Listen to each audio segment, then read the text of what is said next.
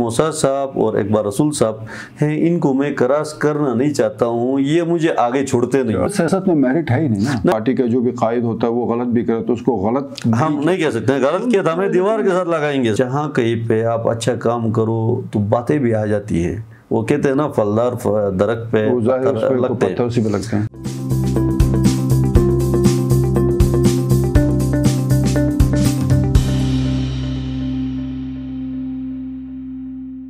लगते नाजरीन, अस्सलाम आप देख रहे हैं आई मेन प्रोग्राम है टाकरा और टाकरा में आज हमारे साथ मेहमान मौजूद है। सुल्तान मोहम्मद गोल्डन, सियासी व समाजी रहनुमा है। पाकिस्तान पीपल्स पार्टी के साथ पुरानी वाबस्तगी है और सोशल वर्कर भी हैं।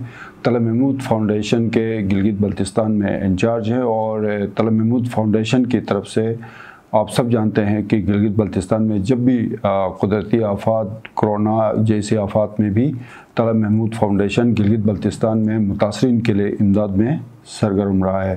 तो हम वेलकम करते हैं सुल्तान मोहम्मद गोल्डन को, सर, वेलकम। बड़ी मेहरबानी शुक्रिया। सर सियासत से पहले ये जो ए, सोशल वर्क है इसमें आप कोई शुरू से ही कोई दिलचस्पी थी या फिर ए, कोई ऐसा कोई वाक़ पेश आए जहाँ से आपको लगा कि हमें सोशल वर्क करना चाहिए? आ, सर सबसे पहले तो मैं आयमन का मशहूर हूँ कि आपने मुझे मदू किया और सुनना वाला नाजरीन नाजरीन को मेरी तरफ़ से सलाम। आपका जो सवाल है सर इसमें आ, सोशल वर्क जो मैं बचपन से ही सोशल था।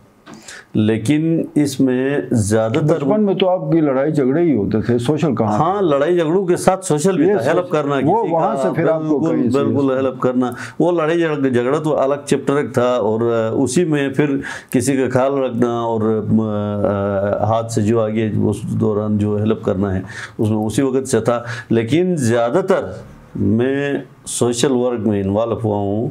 तलहा महमूद फाउंडेशन अच्छा। के साथ रिलेटेड होने के बाद ये 2004 की बात है। 2004 से आप 2004 तलब से फाउंडेशन के साथ काम कर रहे हैं। बिल्कुल ऐसा ही है। तो अब तक ये जो पिछला कोरोना में तो हमने खुद देखा आप लोगों की करोड़ों की इमदाद तकसीम की गई।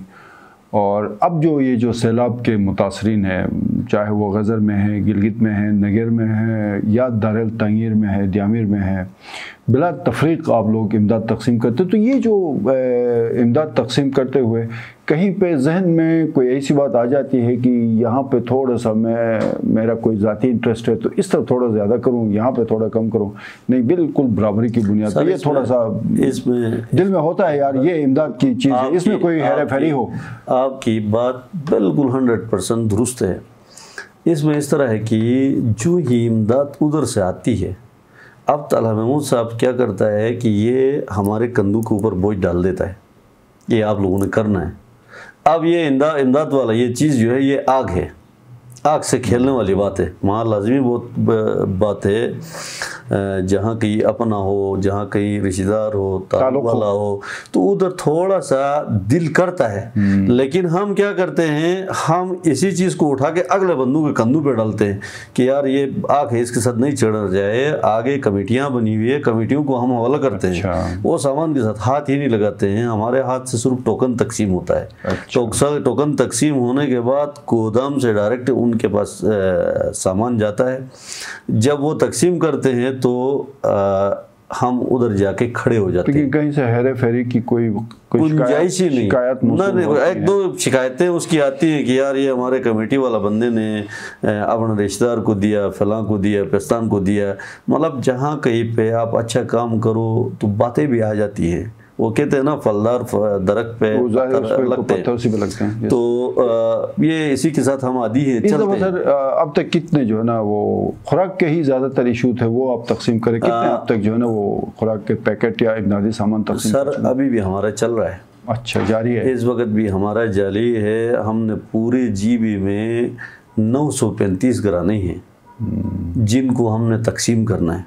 नौ सौ पैंतीस घराने जो जीबी में 935 घरों ये में ये जीबीडीएमए का रिपोर्ट है और हम जो करते हैं गवर्नमेंट के मतलब की रिपोर्ट हैं। कि 935 घराने मुतासिर हुए तो उसी। रिपोर्ट के तहत आप 935 के सब जो मुतासर हैं उन तक आप उन तक। पहुंचाते हैं और 22 घराने जो है उनके वहाँ पे डेथ हुई है नुकसान हुई है फ़ी घराना पचास हज़ार रुपए अच्छा, जो अमवात हुई है बाईस वहाँ पे भी आप तलब महमूद फाउंडेशन की तरफ़ से पचास हज़ार फ़ी का से। उनको दे रहे हैं। अच्छा अब अब अब थोड़ा सा पॉलिटिक्स की बात करते हैं। बहुत पुराने आप पीपल्स पार्टी के साथ आपकी वाबस्तगी रही है और हमने आपको देखा है लड़ते भिड़ते हुए पीपल्स पार्टी के लिए। थाने छाने जेल और ये मामला भी होते रहे।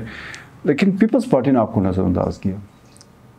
आ, सर ये असल में ये लग रहा है नज़रअंदाज किया। अच्छा। इस वक्त जो है मेरे पास पाकिस्तान पीपल्स पार्टी ने 2011 में मुझे सफ़ीर बराए पाकिस्तान बैतुलमाल बनाया, गिलगित बल्तिस्तान का। ऑनवर्ड अभी तक हूँ मैं। एजाजी पोस्ट है ये। और इलेक्शन के लिए मैंने 2009 में टिकट के लिए अप्लाई किया 2014 में किया। मुझे मिले भी नहीं और मैंने ज़ोर भी ज़्यादा नहीं लगाया। तो हाँ बिल्कुल। और ये जो नज़रअंदाज वाली बात है ये किसी हद तक आपकी ठीक भी है जब मांगो तो देते नहीं है छीन के ले जाना पड़ता है यहाँ पे छीन के लेना पड़ता है। इसमें इश्यूज़ हैं एक दो। इश्यूज़ ये हैं सर कि हमारे पार्टी में जो ज़्यादा असर रसूख वाले हैं या ज़्यादा मतलब इलेक्शन भी लड़ते हैं और पोस्टों में जो छतरी में आए हैं वो पोस्टों में बड़ा पैरा, जमान पैरा, शूटर्स हैं। पैराशूटर्स हैं उनका इस वक्त जो है ये समझो कि पूरा कंट्रोल है पार्टी के अंदर। तो मेरा मैं भी कोशिश करता लेकिन ये मौसा साहब और इकबाल रसूल साहब हैं इनको मैं क्रॉस करना नहीं चाहता हूँ ये मुझे आगे छोड़ते नहीं मोसा और इकबाल रसूल आपके रास्ते में बिल्कुल बहुत बड़े रिकॉर्ड है ये मेरे रास्ते में। या तो ये खुद ले लें तो कुछ। इस रुकावट को हटाने के लिए कोई इकदाम? अब अब मैं इसका रुकावट का हटाने का नहीं है अब मैं इनको लेके इलेक्शन लड़ूँगा अगले इलेक्शन मैंने ऐलान किया है। आपका नंबर एक से या दो से दो बंद मैं हल्का टू से। टू से लड़ेंगे। हल्का टू से मैं लड़ूँगा देखूँगा अगर हल्का वन से गुंजाइश है तो टिकट के लिए उधर भी डालूँगा मैं कागजात। तो मैं ज़्यादा मेरी कोशिश जो है हल्का टू है। वन में अमजद साहब ठीक है वो चल रहे हैं। बहुत ज़्यादा कबल वक्त है लेकिन अगर मैं आपसे पूछूँ टिकट ना मिला फिर? टिकट ना मिला फिर मैं आज़ाद एहतजाजन में आज़ाद खड़ा हो जाऊँगा मेरा वोट है। तो आप पार्टी डिसिप्लिन की खिलाफ वर्जी करेंगे। नहीं मैं डिसिप्लिन खराब वर्जी मैं पहले फिर आप जमील के लिए मुश्किल पैदा सर जमील को हमने तीन मरतबा वोट दिया तीन मरतबा उसकी भी तो हिम्मत है ना कि वो हारते हैं पीपल्स पार्टी के टिकट पे कुर्बानी देते हैं फिर ठीक है इलेक्शन मैं ये तो नहीं कहता हूँ ना सर मैं ये नहीं कहता हूँ कि जमील जो है करेक्टर का अच्छा बंदा है। हमारी पार्टी के लिए उसने बेशक तीन मरतबा हारा है लेकिन देखे ना, तीन मरतबा, एक आम बंदा हारता है तो चौथी मरतबा अगर एक जियाला हार गया तो कौन सी कयामत आ गई? बात यहाँ पे ये अवल तो मैं जीतूँगा, सीट ले लूँगा मैं। सीट में न ले लूँ, मैं अगर हार गया, हार जीत तो होती है। तो तीन मरतबा, एक आम बंदा हारा है, जमील को दिए। चौथी मरतबा, एक जियाला हार गया तो कौन सी कयामत आ गई? ये गवर्नरशिप के कैंडिडेट सारे मामला मेरिट पे हो गए। आ, सर इसमें आ, ये मेरिट तो खैर मेरिट मेरिट तो नहीं हुए ये डायरेक्ट हो गए हैं। सर सियासत में मेरिट है ही नहीं ना? नहीं नहीं इसमें ये देखे ना ये इनको चाहिए था पार्टी वालों के पास कोई मेरिट का पार्टी तस्वुर है? सर पार्टी वालों को चाहिए था पहले इंटरव्यू रखते चार बंदे थे। चार में से जिस किसी को भी बनाए मेहदी शाह साहब थे मूसा साहब थे बशीर साहब थे और मोहदी अख्तर साहब थे ये चार कैंडिडेट आगे थे। तो डायरेक्ट शाह साहब को अपॉइंट किया जदाई साहब ने। तो आप जो जदारी साहब का अपॉइंट जिसको किया है आप उसको गलत किया हम नहीं कह सकते हैं। लेकिन तरीक़ाकार ये ठीक नहीं था। मतलब पार्टियों में अब ये बात आ गई है कि पार्टी का जो भी कायद होता है वो गलत भी करे तो उसको गलत हम नहीं कह सकते हैं। गलत किया था हमें दीवार के साथ लगाएँगे सर।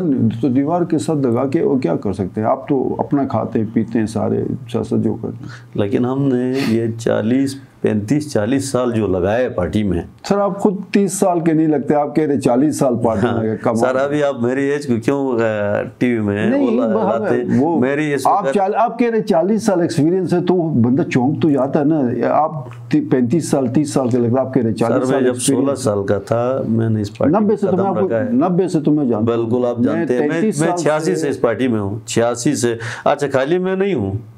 इस पार्टी में मेरे वालिद साहब उन्नीस सौ उनहत्तर सत्तर में जौहर साहब के साथ ऑफ़िस सेक्रेटरी थे। अच्छा। ऑफ़िस सेक्रेटरी थे। तो वही शरीफ? गुलाम मोहम्मद। गुलाम मोहम्मद अच्छा। तो मैं उस दौरान से हमें तो पता है ना पार्टी हमारी बुनियाद है। उसके बाद इस पार्टी में मेरे मरहूम बड़े भाई मीर नवाज़ भाई आ गए। वो एक्टिव थे। बिल्कुल सीनियर भाई। बिल्कुल उसके बाद सुबह का आदत में थे उसके बाद फिर एक बार रसूल भाई जो हैं हमारे वो आ गए वो अब भी हैं ठीक ठाक तरीके से चल रहे हैं। फिर मैं अपनी पढ़ी पड़ी में मैं हूँ।